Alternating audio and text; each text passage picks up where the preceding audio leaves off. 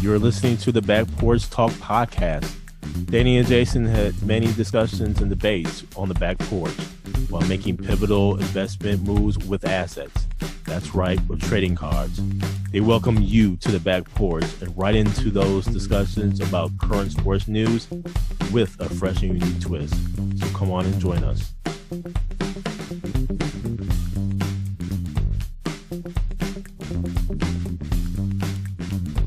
Welcome to the Back Porch Talk Podcast. I'm your coach Jason. It's your coach Danny. And fans, we have a full show for you today, so let's get to it. A little NBA talk here about those Brooklyn Nets still in the news, and a little bit about the uh, Lakers in more ways than one. And then we go into a little bit uh, HBCU news. A football season is upon us coming up on Saturday. Looking forward to it. Then we have an intriguing trading card scenario. But first, Danny, to the NBA, and where unfortunately Chet Holmgren, the second overall pick of the 2022 NBA draft, uh, will be out for the season due mm-hmm. to a foot injury. Uh, looks like it's a Lisfranc uh, injury on his, obviously on his foot, uh, and where he was trying to uh, guard LeBron James. Uh, seems like LeBron James was not even going half speed, but nonetheless, Chet Holmgren seems to have landed wrong, mm-hmm. and unfortunately is out this season. Uh, what say you? Yeah, very unfortunate uh, for Chet Holmgren. He was having a great summer league, great off season, rookie off season. You know, getting ready for his first year, and unfortunately, this happened in a pro am of all things. So it's tough. It's going to be a tough year for him to sit out and watch everything go down. But hopefully he recovers soon and he'll be back on the court and we can actually see what he's about.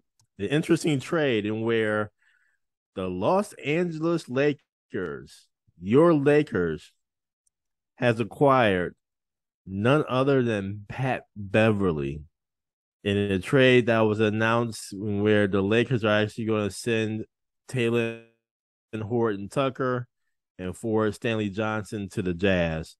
Um, Danny, there's obviously a history between Pat Bev and Russell Westbrook, man. This all really started back in, in 2013 NBA playoffs. I believe Pat Bev was with the Houston Rockets and Russell was with the uh, OKC Thunder. Mm-hmm. And it was during a call timeout and where you know how the guards tend to run over to the side with the ball, call a timeout, and then ultimately they go into a timeout. Well, Pat Bev decided to go full steam at the ball, thus the knees of Russell Westbrook, mm-hmm. ending up tearing, I believe, his meniscus. Yes, uh, and so there's always some been some bad blood, and that's again back in 2013. So we're talking almost 10 years here of some bad blood between the two. This is going to be must see TV, Danny. This is the new documentary I want to see in the practice. we don't know what the hell going to happen between Russell Westbrook and Pat Bev. Now, this is all contingent upon Russell Westbrook still being on the roster. Well, there's some rumors that Russell Westbrook would not be on the roster. He may get traded. I don't know. We don't know. Mm-hmm. Those are the rumors. Nonetheless, as it stands right now, Pat Bev and Russell Westbrook are on the same squad. This is going to be interesting. I remember Russell Westbrook actually mentioning in an interview in where he talked about how Pat Bev has tricked y'all. And I quote, Pat Bev tricked y'all, man. He said some other things. Then he ultimately said, he just he's just running around doing nothing. Woo, boy, this is gonna be some must see TV, boy. I tell you, what's going to be really interesting though is who's going to start and who's going to finish the game. Mm-hmm. How is it going to be talked about at the end of each game? That is going to be some heavy competition, man. So I'm really looking forward to seeing how this all shakes out. I can even see them being on the floor together. Yep. I really can. I can see, see them be on the floor together, possibly having uh, LeBron play, play the 3 Mm-hmm. I mean, AD can play the four or five. I mean, this is going to be very interesting to see how this plays out. What say you, Danny? Jason, I saw the news come through last night, uh, unofficially at first, and then they made it official.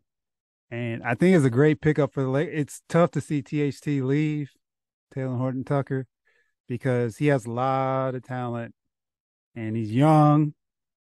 So it's a trade off, right? Where LeBron is looking, trying to win now.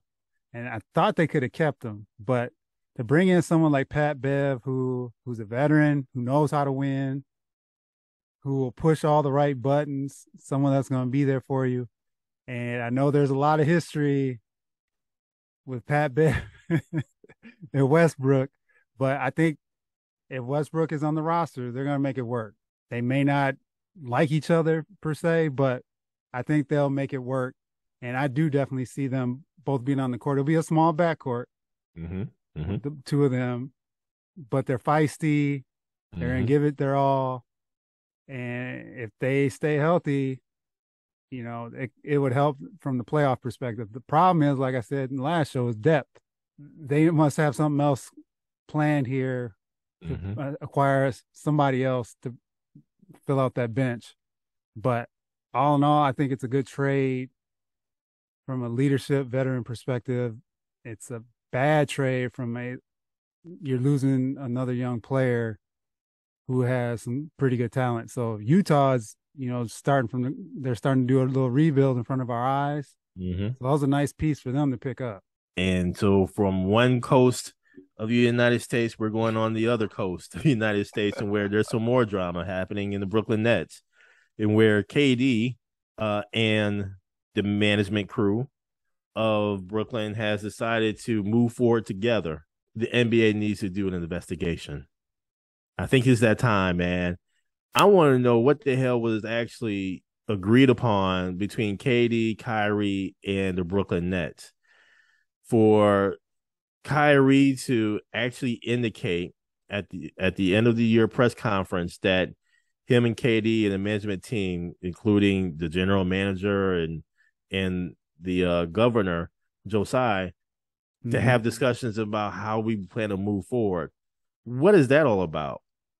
I want to know if if Kyrie and KD has maybe a small ownership stake potentially with the Brooklyn Nets, but for that to be said and it seems like it's holding true, Mhm. I'm just really curious as to what's really happening behind the scenes here. Um, I didn't think KD was going go was going anywhere, um, necessarily after a while because the the pot got too rich, if you will, for the trade to actually happen. Yep. I didn't think any of the teams were going to give up that many pieces and, and those many draft picks to ultimately get KD. Nonetheless, man, I, Brooklyn is stacked. This is going to be an interesting Eastern Conference regular season. I don't know. I think the NBA needs to do some kind of investigation. And if not an investigation, oh boy, wait until this next CBA agreement between the NBA Players Association and the governors of these franchises. Ben Simmons, John Wall, James Harden, all these players, I, I think, have really messed things up from the standpoint of uh, player empowerment. Now they're calling it calling it player entitlement, or there needs to be a different differentiation between the two. Yep. Nonetheless, these governors are actually going to, I believe, really push for certain items when it comes to contracts and salaries in the next CBA. What say you, Danny? So with KD, Jason, there was an interesting scenario that came up before he had this meeting earlier this week with the governors, um, where he was proposed. Memphis was proposing a trade. Was the rumor Mm-hmm. that would have been an interesting fit? Mm-hmm. I actually would have liked KD down in Memphis, Mm-hmm. um, but he's staying according to him. they have something going on here. Something has to come to light Something because who's pulling strings, who's doing what, all the stuff with Kyrie and them to- the toleration level of some of the stuff that's going on as well hmm makes you wonder what kind of wink wink nod nod or Mhm. something in in writing that's we don't we're not privy to to see hmm that it's like you said and we talked about do they have a minority? Are they promised something hmm are they currently getting something that feel that KD felt some type of way where he didn't get his way so he felt he needed to be traded hmm or is him, uh, Steve Nash, is Sean Marks, or me kind of thing. So there is some something going on here, and I think eventually it'll come to light. It may not be in the foreseeable future, but there's just too much going on here. There's a lot of smoke that someone's not going to sit here and take a look at this and see what's going on um, and do some digging.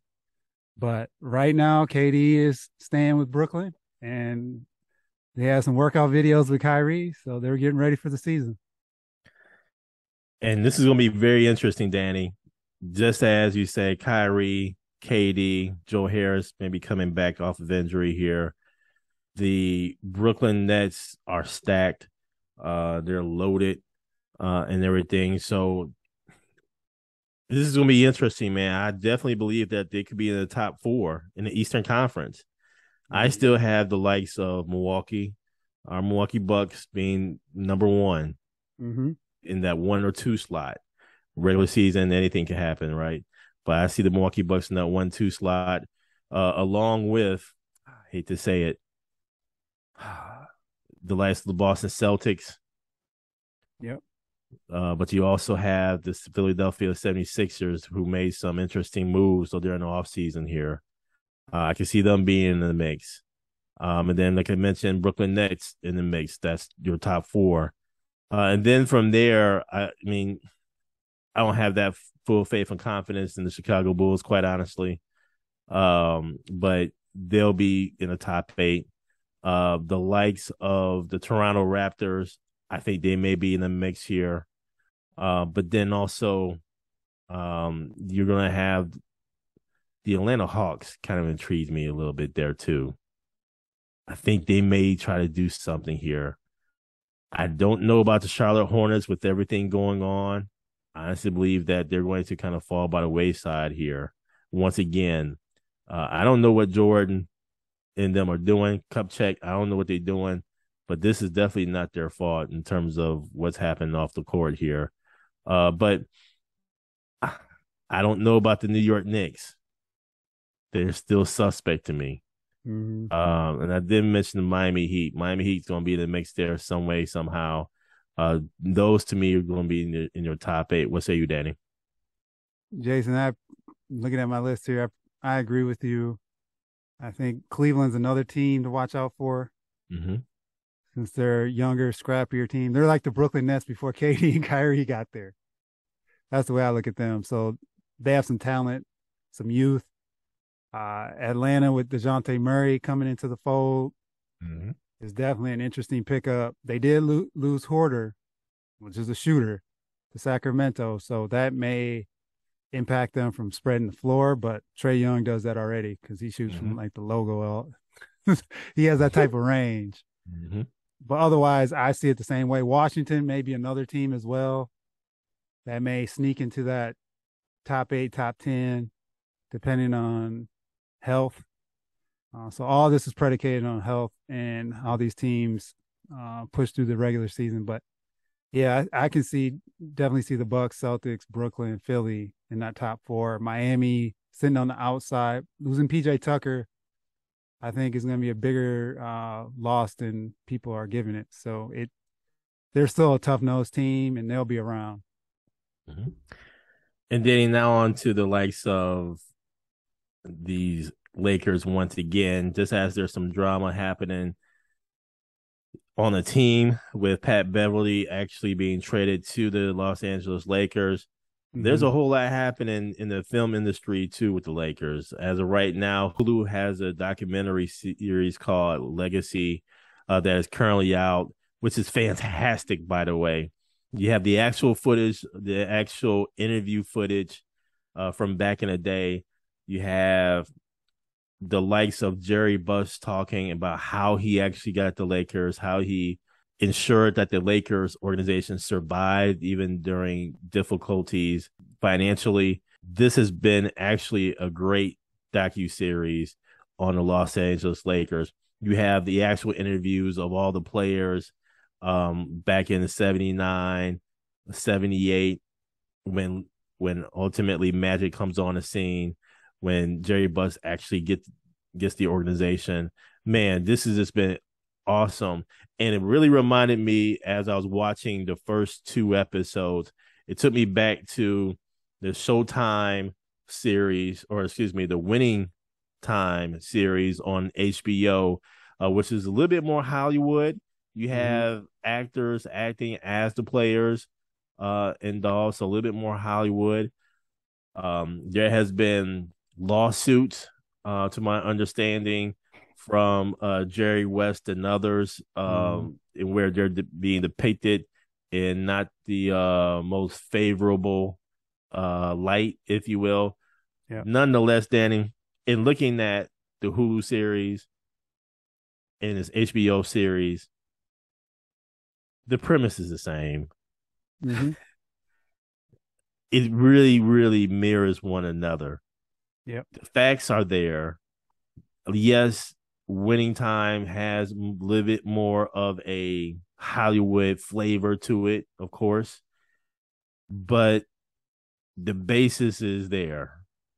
And then ultimately Magic Johnson comes out with his own uh docu series. They call me Magic, which was which is on uh, Apple TV Plus. So, man, this has just been a summer for the Lakers in more ways than one, on and off the court. Yep. The beauty that I I see though within this docu series on Hulu, man, Jerry Buss did a lot, Danny. He did a whole lot. When you mm-hmm. talk about the financial difficulties that the Lakers were in, and where he actually uh, put the name naming rights on an arena. So it went from the Forum to the Great Western Forum, and he got money for that to help pay off some of the debt, whatever the case may be. Mm-hmm. That was at the time. It seemed like the one of the first times in the NBA or in general that that has happened. Yeah. Um, so he's a true trailblazer. The other thing that he did to generate some funds uh, was having a local a local outlet to show the games. Mm-hmm. Only about 17, 18,000 people can fit in the arena, he said. Do you have so many more Lakers fans wanting to see the Lakers? And so he had this local TV um, outlet um, to distribute basically uh, the games. Uh, and he got some money off of it. So, man, this is a true trailblazer. Uh, some things that I definitely didn't know uh and all. But man, these all these series has been great, um, nuanced in its own respective way, but uh very interesting for the Lakers on and off the court. What say you, Danny? They've done a great job and you wonder why it's taking so long for the, for some of these things to come to fruition, but I'm glad they did because they're from our era. So we get to see a lot of behind the scenes um, footage and like you said, information being dispersed. You get to see a lot, a lot about people's character as well and how they handle situations.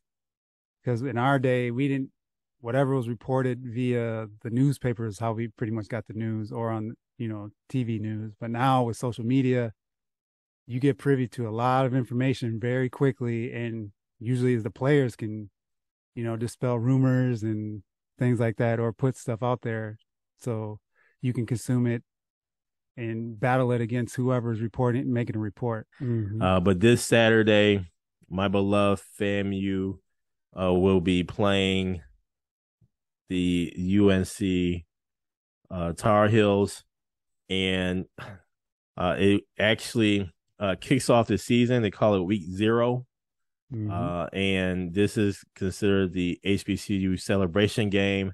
Uh, and where again UNC will play my beloved Florida A&M Rattlers.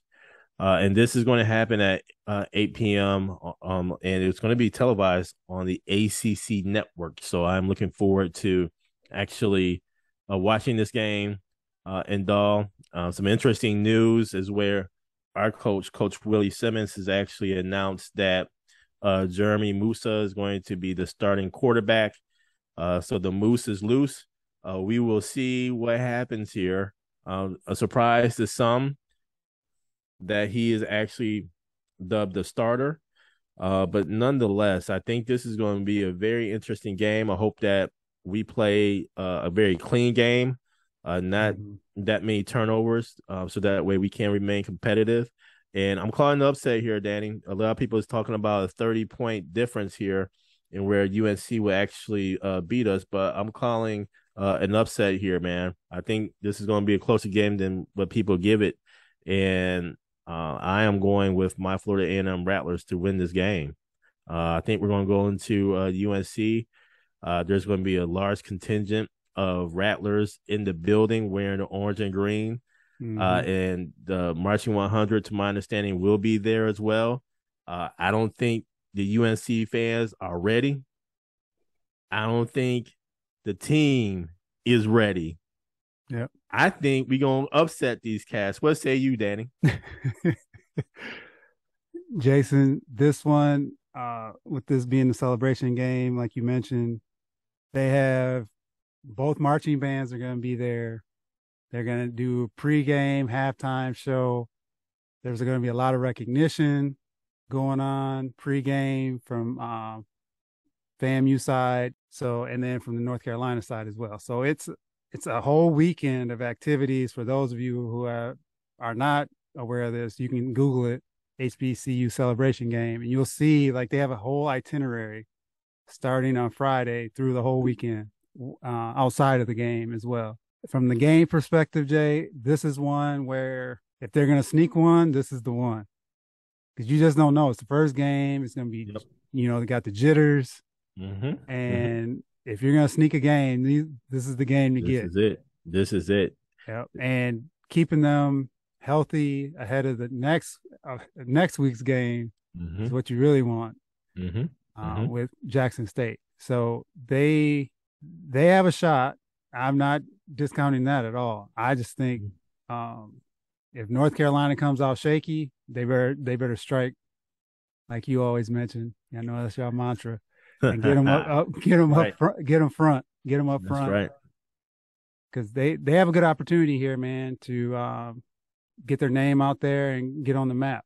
So this is no better way to do this versus a, a top twenty. I think North Carolina's ranked twenty two preseason. So. Mm-hmm Mm-hmm. this will be a great upset from that perspective as well. And and I have to say this, man. I think our defense is ready. Uh, mm-hmm. We have Isaiah Land. This is opportunity for him to shine, as well as other uh, NFL prospect players to shine. Um, this is that money game uh, mm-hmm. in more ways than one.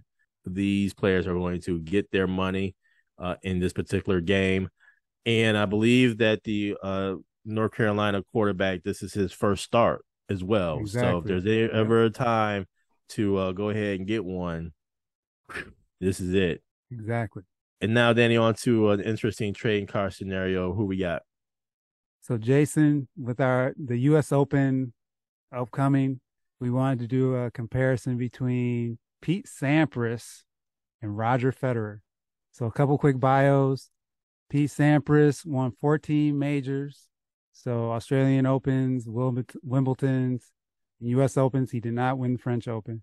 Uh, he has 66 career titles. Singles and his singles record was 762 and 222. Roger Federer won 20 majors, and his overall singles record was 1245 and 275 with 103 career titles. Jason, who do you want in your portfolio? Danny, this was an interesting one. I went back and forth on.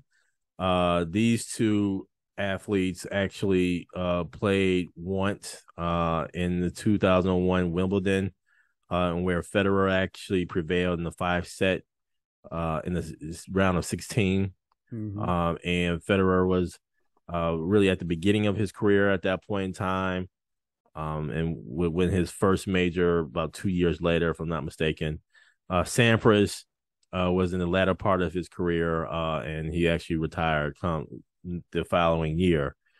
Uh, so Danny, I had to say this, man. This was interesting because Sampras, uh, at one point in time was uh, the one, um, you know, doing things big, if you will.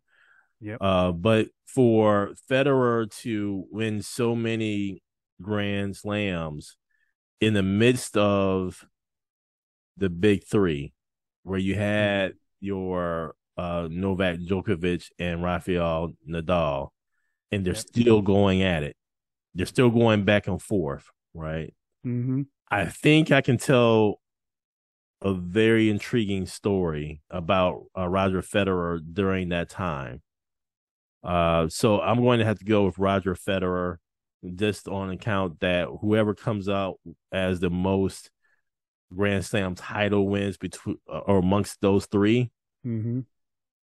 I can still tell the story that Federer was in the mix. What say you? Pete Sampras came up during our time when we were younger, and he was he turned pro when he was 16. Federer turned pro when he was 17, and Sampras was dominant.